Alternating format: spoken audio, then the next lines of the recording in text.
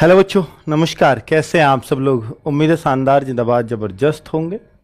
पहले तो उन लोगों के लिए बता दूँ कि जो 2024 वाले एस एस 2024 वाले हैं, जिन्होंने एग्ज़ाम दे दिया है और अब रिज़ल्ट का वेट कर रहे हैं कि फ़िज़िकल के लिए कॉल कब होगा तो उसके विशेष संदेश में वो सोच रहे होंगे कि शायद हमारे लिए कुछ स्पेशल न्यूज़ हो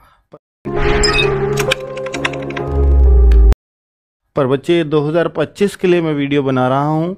अभी रिज़ल्ट की कोई अपडेट अगर आप मुझसे पूछना चाहते हो तो अभी फ़िलहाल मैं कहूँ कि बहुत पॉजिटिव अपडेट मेरे पास नहीं है रिज़ल्ट की। क्योंकि अगर जब बहुत पॉजिटिव ना हो तो ऐसा भी हो सकता है कि आपका रिज़ल्ट इलेक्शन के बाद तक के लिए टल जाए। और आप ये मान के चल सकते हो अभी, क्योंकि 25 मई का दिल्ली के अंदर इलेक्शन है। और एसएससी का हेडक्वार्टर दिल्ली में है तो उस हेडक्वार्टर का पूरा स्टाफ इलेक्शन ड्यूटी बजाने में बिज़ी है। हाँ सारा स्टाफ तो नहीं, कुछ स्टाफ काम कर रहा होगा, पर कुछ ऑफिसर्स हो सकता है बिज़ी हो गए हों। पर अगर ये भी मान लें कि पहले आ गया तो फिर कहाँ जाएगा वो तो भैया अगर इसका मतलब है अगर पहले भी रिज़ल्ट आ गया 25 मई से तो इसका मतलब ये डिले जो हो रहा है, ये उस वजह से हो रहा है क्योंकि आधा स्टाफ तो गया हुआ है ना उनका। तो चांस भी कम है कि 25 मई से पहले आ पाए। ऐसा नहीं है कोई आचार संहिता लगी हुई है, इस वजह से रिज़ल्ट नहीं दे रहे। इसका कोई संबंध नहीं है। लेकिन 25 मई से पहले नहीं आ रहा है क्योंकि इलेक्शन में ड्यूटी में बिज़ी हैं वो स्टाफ वरना अब तक आपका रिज़ल्ट आ चुका होता। तो अब आप थोड़ा सा इतना सब्र कर लिया है, आज 12 तारीख हो ही गई है इलेक्शन में 25 है तो 13 दिन और बचे हैं। आ जाए तो बहुत बढ़िया है इसमें रिज़ल्ट वरना वेट कर लीजिए।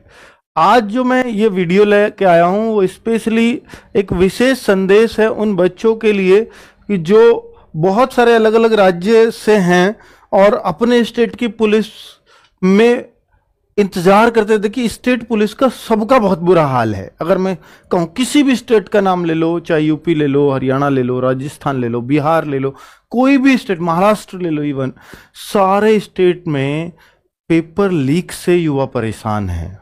हर स्टेट का बुरा हाल है। और एक बार लीक हुआ, फिर री एग्ज़ाम की डेट कब आएगी कब आएगी, कैसे आएगी, कहाँ आएगी, नहीं पता होता। कितने देर में आएगी, कितना और वेट करें और वेट करके भी पता लगता है कि लास्ट में कोर्ट में चली गई भर्ती। अब वेट कर रहे हैं बच्चे, भाई, लग लगा के भी यार इतनी मेहनत करके जॉब लिया और इसमें भी अब कोर्ट में फंसा दिया, इस बच्चे की क्या गलती थी?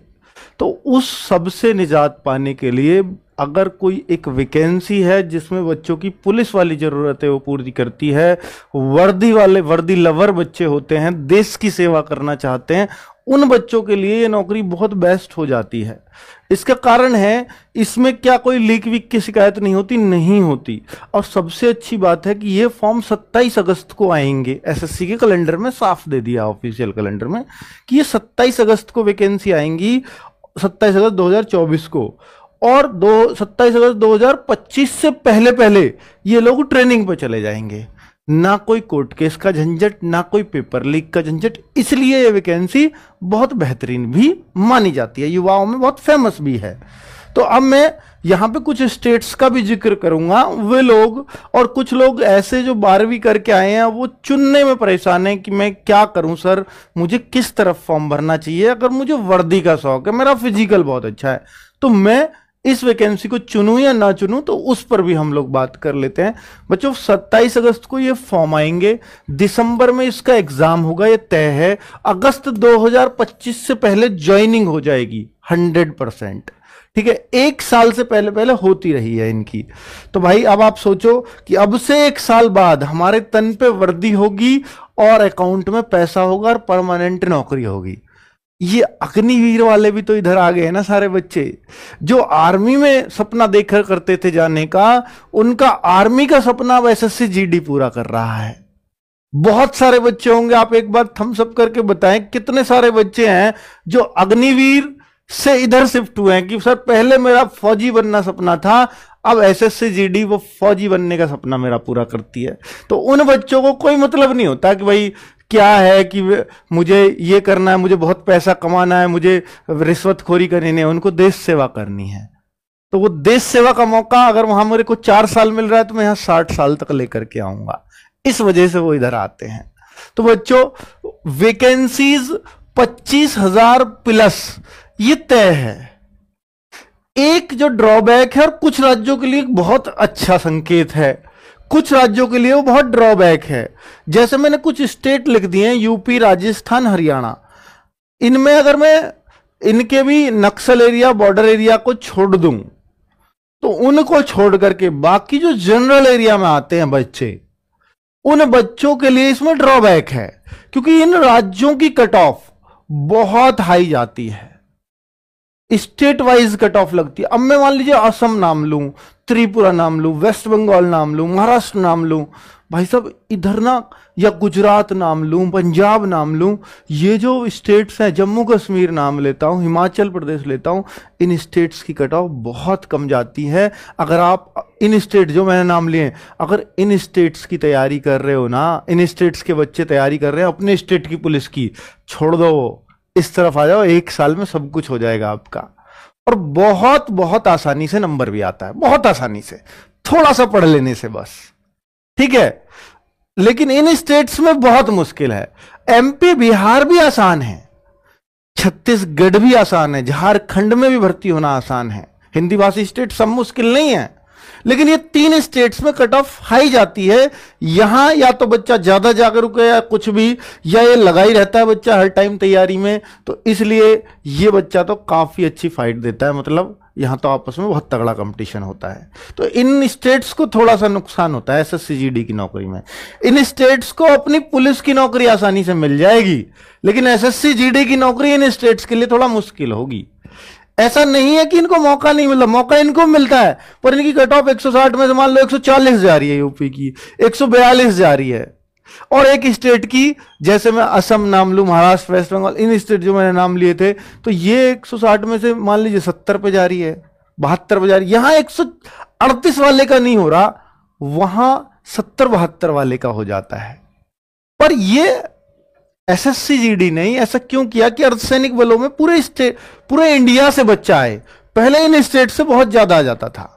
तो उन्होंने बोला कि हम स्टेट वाइज कट ऑफ़ लगाएँगे, क्योंकि हम हर राज्य को एक समानता का, भाई देखिए, आरक्षण भी तो दिया ही था ना, आपके स्टेट में आरक्षण नहीं है, ओबीसी को अलग है, एससी को अलग है, एसटी को अलग है। तो आप ये समझ लीजिए, हर स्टेट को आरक्षण मिलता है इस भर्ती में। और अपने अपने आरक्षण के हिसाब से यहाँ कट ऑफ़ जाती है। तो वो बुरी चीज़ नहीं है, क्योंकि अगर आपका आरक्षण बुरा नहीं है तो वो भी बुरा नहीं है। अगर वो बुरा है तो ये भी बुरा है। ठीक है, क्योंकि यूपी वाले बच्चों को लगेगा कि मेरे साथ अन्याय हो रहा है।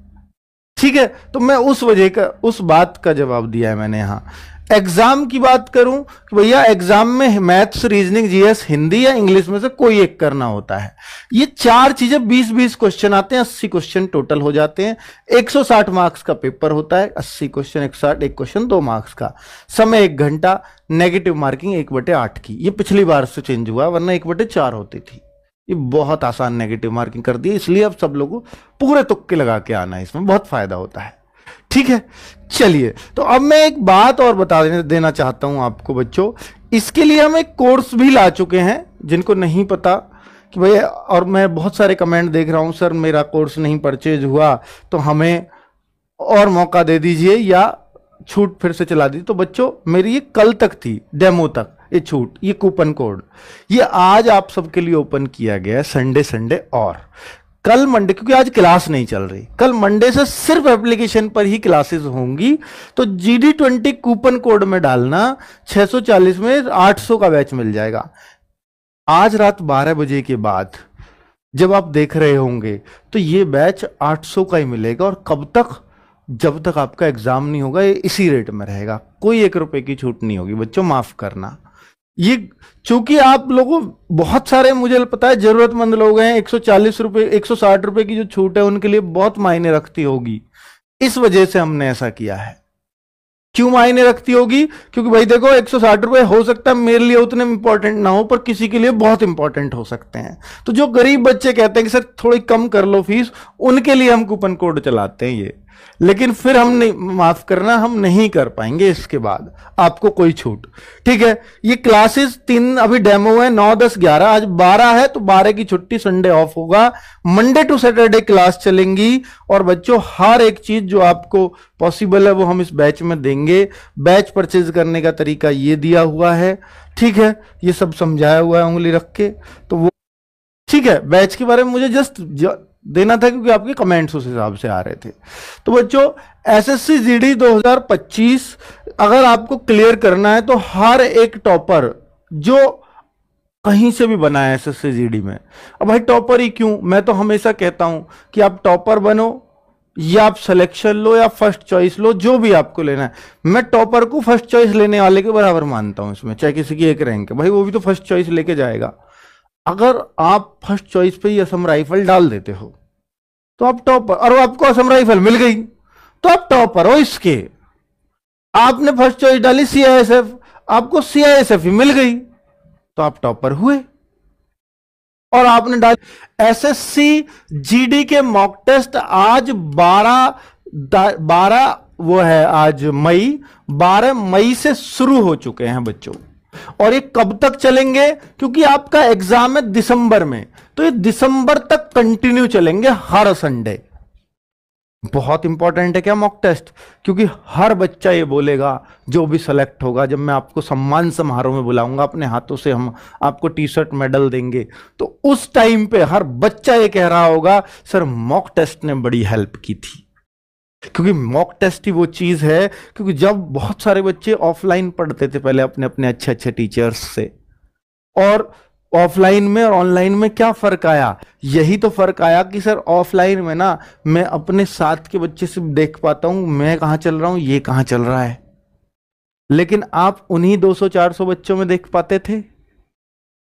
ऑनलाइन में आ गए। मॉक टेस्ट ये बताता है कि आप पचास हज़ार बच्चों में यहाँ चल रहे हो। तो भाई साहब, असली कंपटीशन तो यहाँ पता चलता है।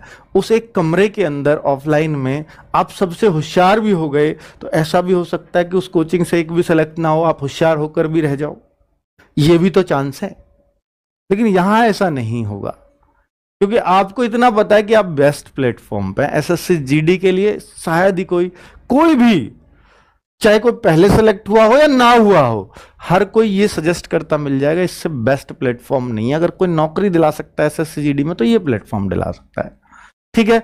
हर स्टेट के बच्चे को ये बात बता देना चाहता हूँ। मिनी मॉक 27 अगस्त के बाद शुरू होंगे। बच्चों, एक मॉक एनालिसिस होता है जिसको मैं आपको हर संडे आकर के करवाता था। पिछली बार भी कराया था। उसमें क्या बताता हूँ कि बच्चों, आप यहाँ चल रहे हो, आपके इतने मार्क्स हैं 160 में से आपके मान लीजिए 90 मार्क्स हैं, लेकिन इस टेस्ट में आपके 120 होने चाहिए थे। तो आपको पता लगेगा अच्छा 30 मार्क्स मेरे कम रह गए, मैं अगले में कोशिश करूँगा। तो मॉक एनालिसिस का यह फ़ायदा होता था, बच्चा कोशिश करता था। फिर मैं बताता था, आज के टेस्ट में मैथ्स में इतने होने चाहिए थे। बच्चा देखता था कि यार मैथ्स में मेरे ठीक है, जितने सर बताए उतने ही है। रीजनिंग में इतने होने चाहिए थे। बच्चा देखता है ओ मेरे तो रीजनिंग में कम रह गए। जितने सर ने बताया उससे कम रह गया। बाकी सब चल, सही चल रहा हूँ। रीजनिंग कमज़ोर है इस पे काम करना है। तो मॉक एनालिसिस भी शुरू करूँगा पर अभी नहीं। वो फॉर्म आने के बाद ही शुरू होगा। ठीक है? अब एसएससी जीडी की बुक्स कब तक आएँगी? मिनी मॉक भी तभी शुरू होंगे? अभी कोई अर्थ नहीं है उसका। एसएससी जीडी की बुक्स बच्चों जो 10 जून आएगा हम हर महीने की दस तारीख को बुक पे ऑफ़र चलाते हैं। मेरा मन है अपने अंदर से कि एसएससी जीडी को जब फ़र्स्ट टाइम मैं आपके लिए लेकर के आऊँ ऑनलाइन सेल पर तो पहली बार मैं उसको सेल पर लेके आऊँ। मतलब उसको ऐसा करूँ कि हर गरीब बच्चे तक किताब पहुँचे। जितना उनका एमआरपी उसके आधे में आपके घर तक पहुँचा दूँ। ये मेरी कोशिश है, ये दस जून को ही मैं कर दूँगा आपके लिए। ठीक है? तो मेरी कोशिश है कि 10 जून के ऑफ़र में आपके एसएससी जीडी की बुक्स भी शामिल हो जाएँ। हम उन पर तेज़ी से काम कर रहे हैं। ठीक है, नए बच्चे जिन्होंने तैयारी अभी शुरू की है, वो मॉक टेस्ट दे या नहीं तो मेरा सुझाव है कि जो अभी अभी तैयारी में आया है, जिसने अभी बारहवीं की है, वो मॉक टेस्ट अभी ना दे। बिल्कुल ना दे। लेकिन जिसने पहले तैयारी कर रखी है मैं एक बार और ढंग से करना चाहता हूँ, वो मॉक टेस्ट देता हुआ चले साथ में। जो पहली बार किसी एग्ज़ाम में बैठेगा, वो प्लीज़ मॉक टेस्ट मत देना अभी। कब दे फिर वो मॉक टेस्ट वो अभी अपने टीचर के अकॉर्डिंग चले कि भाई ये बोल रहा है टीचर तो यही करना है मुझे। इसके अलावा कुछ नहीं करना। वो इतना कर ले। अगर बुक की ज़रूरत है क्या? बैच के साथ? हाँ। इन बुक्स को, आप बुक्स तो तब भी कोई ना कोई आपको रखनी चाहिए, मैं बोलता हूँ सेल्फ कॉन्फिडेंस बढ़ाती है। ये ना लें तो कोई और आपके पास मैथ्स की बुक है, उससे सवाल कर लें, पर बुक होनी चाहिए। ठीक है, ये मेरा मेरा मतलब आपके लिए सुझाव है। तो बच्चों, वो मॉक टेस्ट दें या नहीं तो नहीं दें, लेकिन जिसकी थोड़ी भी तैयारी पहले से है तो वो मॉक टेस्ट देना शुरू कर सकता है आज से। ठीक है, ये मेरे आपको पर्सनल सुझाव है। कुछ बच्चे पूछते कितने घंटे पढ़ें? कितने घंटे पढ़ें? तो भाई, कितने घंटे पढ़ें? मैं आपसे बोल रहा हूँ कि मैंने छह आवर की तो आपके लिए क्लासेस लगवाई हुई हैं, जो लगभग लगभग सौ दिन चलेंगी। यानी साढ़े तीन महीने सौ दिन। सौ दिन के अंदर ये आपका कोर्स कंप्लीट हो जाएगा, आज से सौ दिन लगा देना। ठीक है? सिक्स आवर क्लासेस हैं प्लस एक घंटा मैथ्स के लिए जो क्लास में पढ़ाया है, एक घंटा है पैंतालीस मिनट रीजनिंग के लिए जो क्लास में पढ़ाया है, और पंद्रह मिनट हिंदी के लिए जो क्लास में पढ़ाया है, और एक घंटा सारी जीएस के लिए, तीन क्लास जीएस की चल रही हैं अलग अलग तीन या चार जो भी चल रही हैं उनके लिए भी आप एक घंटा निकाल लो, चाहे वो बीस बीस मिनट ही फेरो पर फेरो ज़रूर उसको भी। तो मैंने आपको टोटल तीन आवर होम स्टडी या सेल्फ स्टडी सेल्फ क्लास से अलग। तो ये नाइन आवर जो बच्चा निकाल लेगा, हमारे कोर्स खत्म होने तक, यानी हंड्रेड डेज़ तक, मैं गारंटी से कह रहा हूँ कि अगर वो बिल्कुल रेगुलर ये करता है, सत्ताईस अगस्त से पहले कोर्स खत्म होना ही है उसके बाद सिर्फ़ रिवीजन बचेगा। उसका सिलेक्शन कोई रोक नहीं पाएगा। इतना कर लेना बस। इससे ज़्यादा कुछ नहीं करना। तो नौ घंटे कोई ज़्यादा है क्या? सौ दिन नहीं पढ़ सकते। यूँ बीत जाएँगे यार सौ दिन। ठीक है, आप थोड़ा मेहनत तो करिए स्टार्ट मन तो बनाइए। तो बच्चों, आपको ये मेरे पर्सनल जो सुझाव है होने ही चाहिए थे क्योंकि बहुत सारे बच्चे नए नए बच्चे होते हैं, उनको नहीं पता होता कि मैं जो कर रहा हूँ, सही कर रहा हूँ, या मुझे कितना पढ़ना चाहिए, कितने घंटे पढ़ना चाहिए। भाई, सब कुछ मैंने आपको बता दिया इस वीडियो में, ठीक है? तो आप प्लीज़ जो भी अदर स्टेट के बच्चे हैं, जो तीन स्टेट मैंने लिखे, यहाँ तो इन बच्चों को तो बहुत ही मेहनत करनी पड़ेगी यूपी राजस्थान, हरियाणा वालों को। इनके अलावा जो स्टेट्स के बच्चे हैं, उनको नौकरी एस में बहुत आसानी से मिल जाती है। तो भाई, आप फोकस करिए। इनको भी मिलेगी इन स्टेट्स के को इनको थोड़ा ज़्यादा फोकस करना है। लेकिन नाइन आवर तो सबके लिए बताया है मैंने। इन स्टेट्स के बच्चे भी अगर नाइन आवर पढ़ ली तो 140, 145, 150 स्कोर करना बहुत आसान काम है एस में। लेकिन कुछ स्टेट्स का जिनका 100 पे 80 पे 90 70 पे भी सिलेक्शन होगा भाई आप कोशिश ये करिए कि आप उन बच्चों की लाइन में जो 140 50 करेंगे। तो आपके 90 100 तो यूँ ही आ जाएँगे क्योंकि आपका कंपटीशन इन बच्चों के साथ है। ठीक है? नब्बे सौ तो यहाँ कोई बड़ी बात ही नहीं है।